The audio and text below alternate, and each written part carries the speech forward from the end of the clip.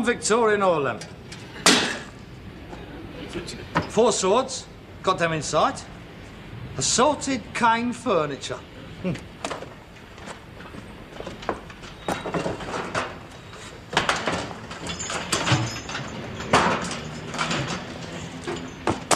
Yeah, cleaned up, that'll be all right. Got some more damn somewhere. Yeah, one Indian carpet in my bedroom. One stuffed Indian tiger. That's going to be difficult. oh, God, blimey, curry again. How'd you know? I could smell you coming up the road. Well, you like curry. Yeah, I know I did. We've had it five times already, and it's still only Thursday. We even had it for breakfast once. Hey, look at me, I'm going brown. Good for you this weather, mate. Keeps you warm. Hey, look at that lot. Only nine and six. I don't know how he does it. Well, I do, mate. When did you last see a cat round here? Don't be disgusting. If you don't eat it, I'll eat it. I'll cook you something else. No, thank you. I don't want any more of your Jimmy Young cock-ups. What are you doing with that lot? If you must know, I'm getting some props together for the next production at the Civic Hall. Oh, good. Are they on the ear roll again? It's good publicity. We get the credit in the programme. Costumes and Properties by Steptoe and Son.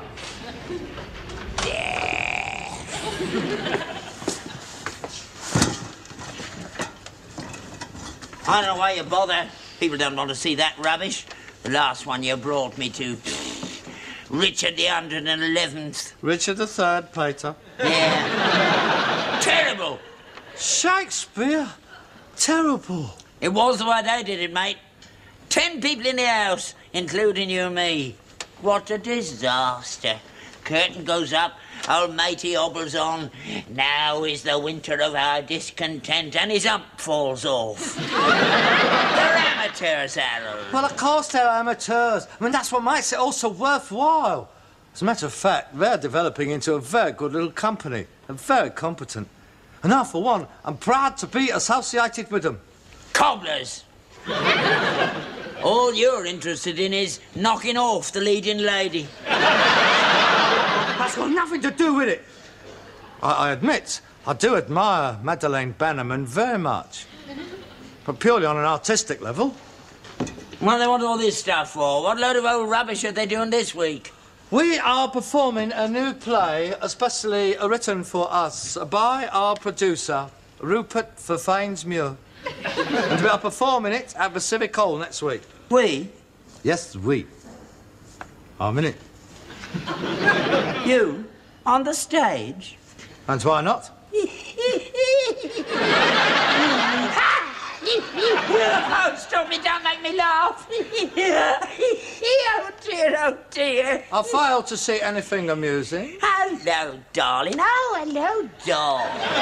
Lovely darling. I saw your Hamlet, darling. Up yours, darling, and kiss me darling. It's not like that at all. Oh, of course it is, actors. They're all poofs. all that makeup. Love it, they do. Love it. I don't think I care to continue this discussion. Pray excuse me.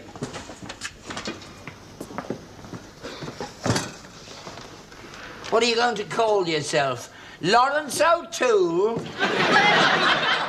Now, don't be silly, Harold. You can't act. It takes years. You have to go to school. Not necessarily. Lots of actors have started in rep. That's the finest training you can have. I mean, take our Richard III. He never went to drama school. He's an income tax collector. Rupert says that uh, I, I, I'm a natural. He's very impressed with my audition. What'd you give him? Uh, Hamlet, Shylock, Henry V. No, uh, it was all sort of thrust upon me. I, I didn't have uh, time to kind of learn anything. I was uh, scene shifting at the time, and the leading man dropped out, and uh, he was transferred to another bus depot. Um, I, I was there, so I just got up and did it. What? Sir Marlon Brando, the taxi scene from On the Waterfront. well, you know. Oh, Charlie, Charlie. Oh, no, Charlie.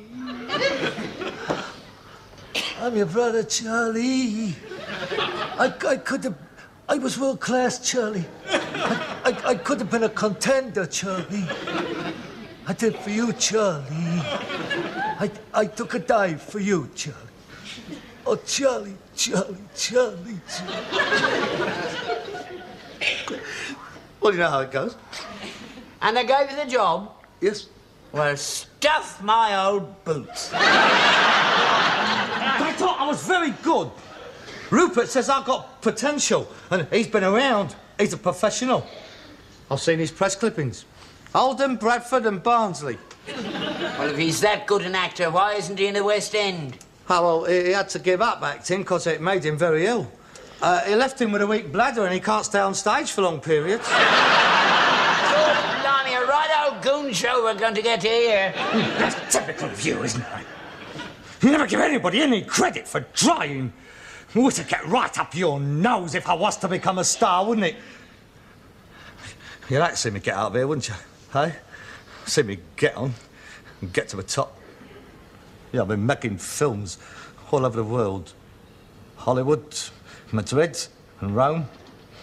Acting up against all that international crumpet.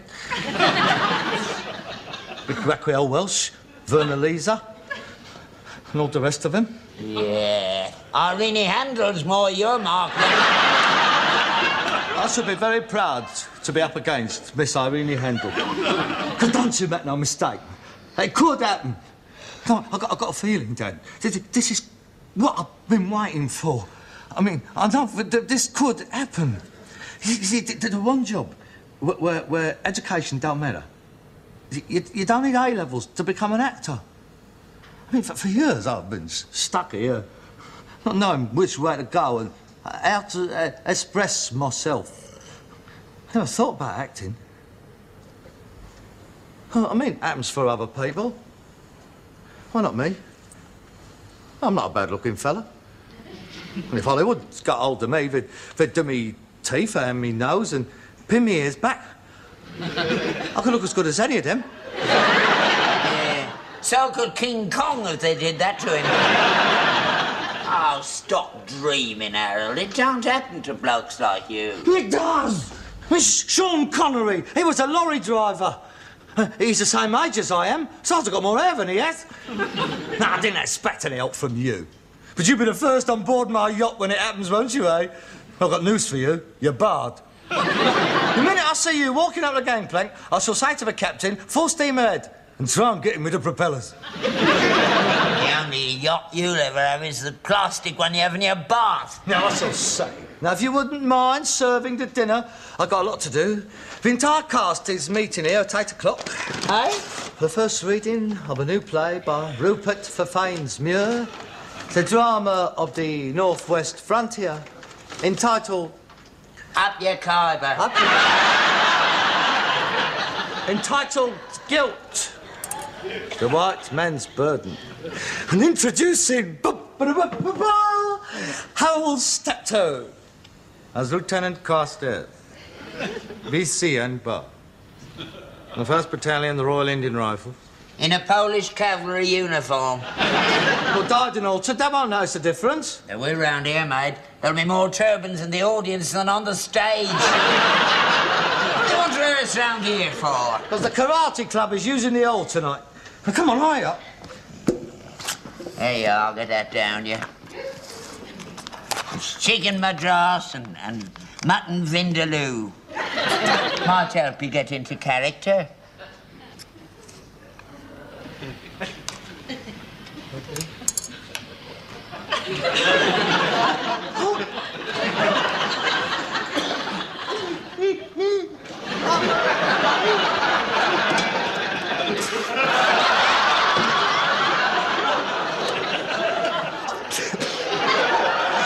My voice!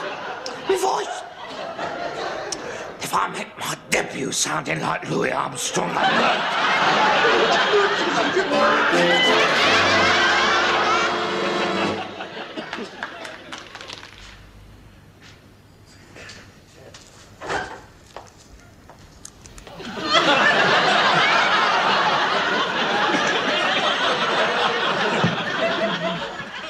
All shot already? Haven't you gone? Oh, God! Haven't you gone out yet? To be you in a minute. All right. Here's ten bob.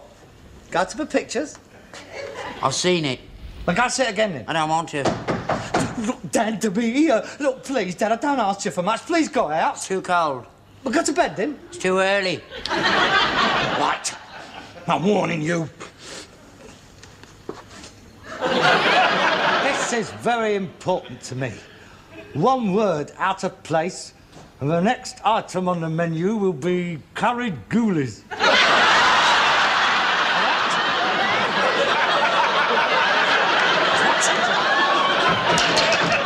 Oh, certainly, darling. Anything you say, darling. Oh, you found it all right. Do, do come in. Now, come on in, darlings. Hello, darling. Oh, be a darling, darling, and take my coat, darling. Yes, darling. Now, come on in, darling. There's a good girl. That. Now, I, I don't think you know everyone. Uh, this is this is Nemone Wagstaff, our new leading lady. Oh, how'd you do? Hello. I've heard so much about you. Really? All, all, all good, I hope. Well, what happened uh, to Miss Bannerman? Ah, yes, what indeed? Oh, darling, what an Uh, well, no, no, no, no, let, let, let, let, let me tell this. Um, uh, you know she was married, don't you? No, I did not. Uh, yes, yes, she was, she was married to Norman, who works the lights. Uh, well, it was all a bit umpty, and we, we knew that something was going to happen. Anyway, you remember Jack, who played um, Jim in John Loves Jane? Well, he was married to Janice, who played his mother. Anyway, it, it seems that Jack came back last night, packed his bags, and scarpered. There's an empty desk in the gasboard showrooms today. He went just like that. It's scarpered with the Bannerman. I think they've gone up and set up in production on their own. anyway, we're, we're, we're terribly lucky to have got hold of Nem- Nemone, who's, who's got tremendous experience. Really? Oh, yes, a right little pro, aren't you, darling? I should look forward to playing opposite you, Harold. I don't hope I don't let you down. I'm very inexperienced. I'm sure not in everything. Let's go to the lounge. Yes, come on, we've got an awful lot to get through this evening. Oh, I say. What an absolutely super set. Straight out of Love on the Dole. This is our home. Ah. Oh, I didn't mean to be rude. May I introduce my father? Father, this is Sir Rupert Verfainsmuir, our producer. How do you do? Delighted. I'm sorry to hear about your illness. If you get caught short, the bog's outside.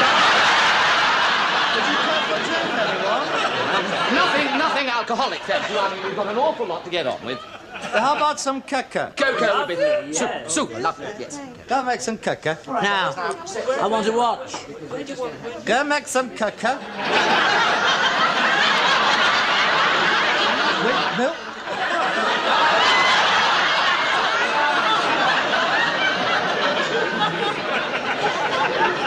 terribly sorry for the delay. Yes, well, come on now, let's let's get started. Now, you've, you've got your words, haven't you? Um, I've uh, managed to gather some uh, props together, and I'm sure you'll be pleased with them. Uh, got some costumes as well. Lovely, lovely. And I must say that I've read the play, and I think it's quite magnificent. Thank you, dear boy. And I do hope that your confidence in me will not be misplaced. Hope don't make a bolt. I'm a co- I, I, I hope I don't mess it up. Dear boy, I've, I've never been wrong yet. And anyway, I, I, I love the challenge of presenting a new face to my public. Now, the, the, the play is set. The play is set in a beleaguered fort on the Indian frontier during the Afghan Rising. Now, a punitive expedition by the British has failed, and they are now surrounded by 50,000 savage tribesmen, whom, of course, we don't see. now, the, the, the dramatis personae Pardon?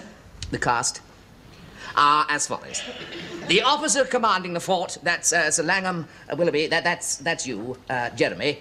And his wife, Lady Cecilia, that's Deirdre. And their beautiful daughter, Nemone, that's, that's you, Nemone. She is Ariadne. And her fiancé is Lieutenant Carstairs, that's, that's you, Harold.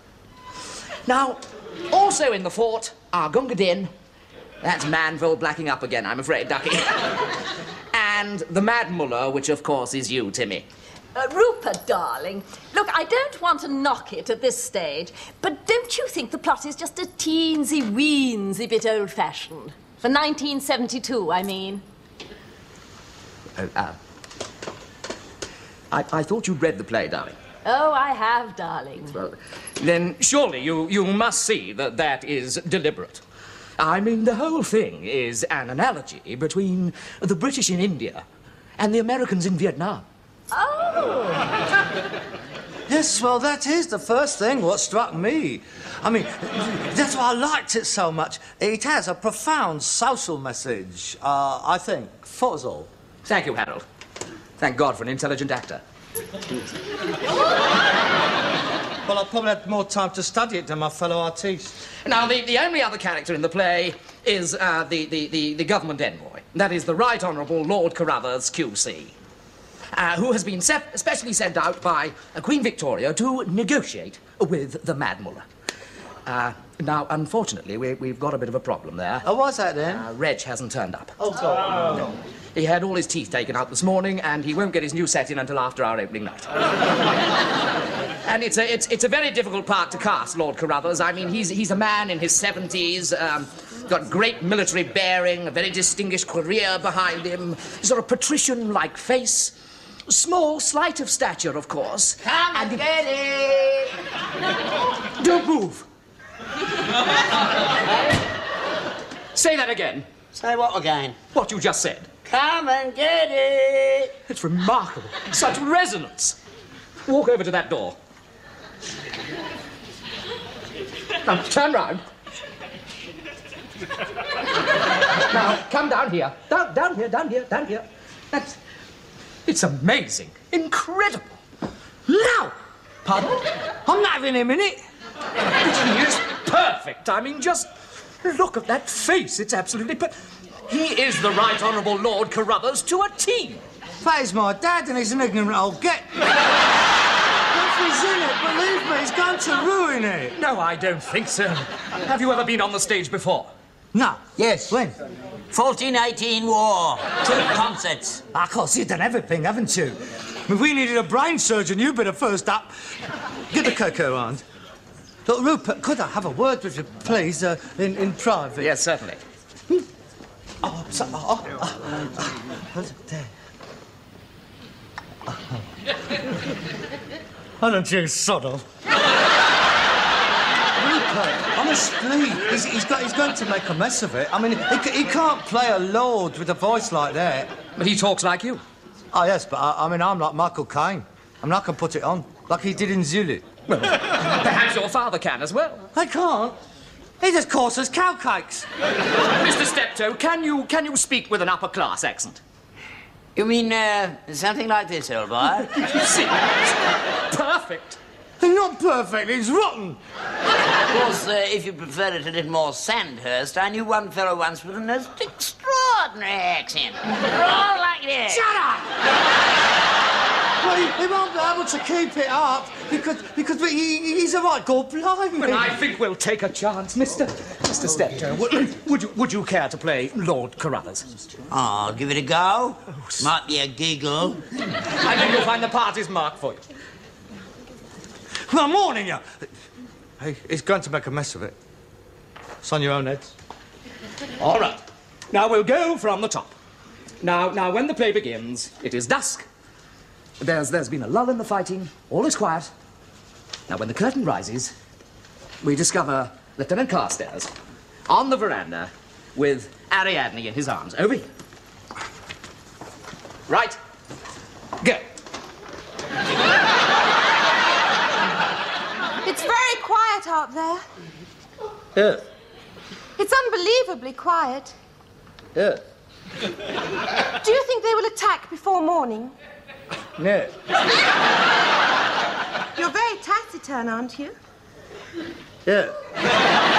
Blimey, you got a big part, haven't you? You see, he's not a professional. Now, come along, please. No temperaments now. Come on, keep it going, keep it going. What chance do you think we have, darling? Uh, well, one chance in a million. If, uh, if I can slip away tonight, and if I can get to Delhi in the morning, Ding dong, the bells begin to chime.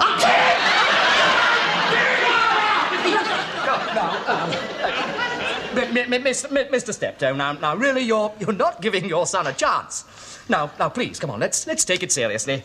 All right, carry on, Harold. You're very good. Your speech, Nemone. Do you think we will get out of this alive? He won't if you don't turn it in. So, Your, your father and and and the oh sorry and the general is in the study now, uh, discussing the terms they will present to the Mad Mullah. Don't you mean the terms the Mad Mullah will present to us? Ha ha ha ha ha ha ha ha. Ha. I, I, I knew it was foolish to try to deceive a soldier's daughter, but believe me, Harriet, me, those fiends will not take you alive. I have saved two bullets for us, and um, that's why we will always be together. My darling. right now the door bursts open and in strides Lord Carruthers and the General. Now, now, Lord Carruthers is very, very angry. All right, go. I won't bother about the accent yet. I'll work on that later. Fine, yes, yes. I am not satisfied, Willoughby. Her Majesty's government has been seriously mizzled. Misled. Oh, I'm sorry. Misled. But needless to say, Needless! I told you he's going to spoil It's, it's, it's, all, it's, all, it's, all, it's all right. It's, all, it's, it's all right. Go, go on, go on. needless to say, I have a plan. I bring a sausage from Her Majesty. Put your bleeding glasses on! Oh, no, Rupert. Could, couldn't we rewrite it? I mean, could, couldn't we have him stand at the French windows and get killed by a stray bullet? No, no, no, no, no, no, no. Please carry on.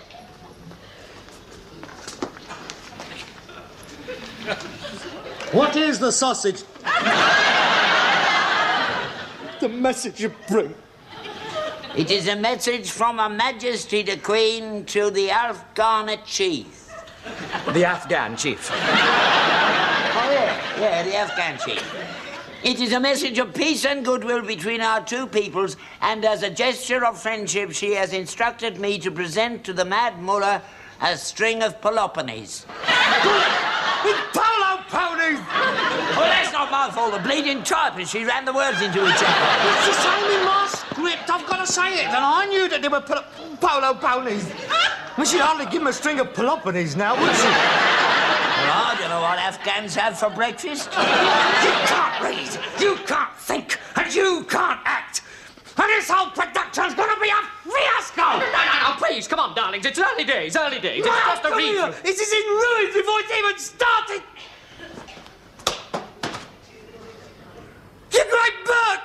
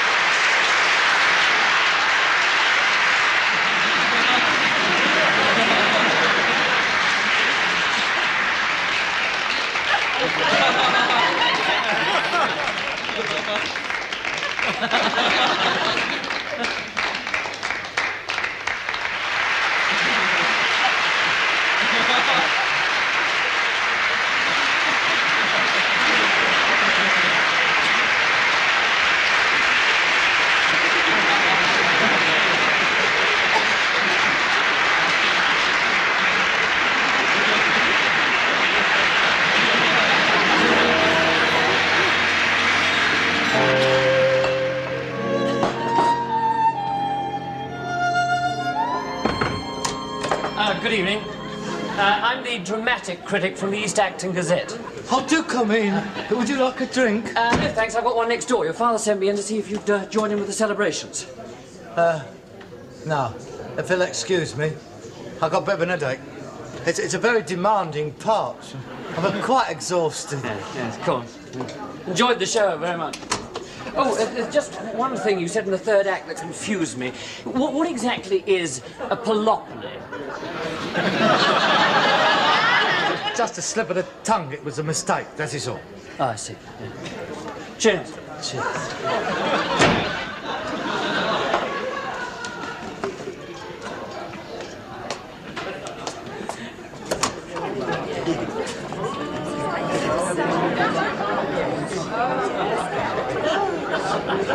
¡Ah!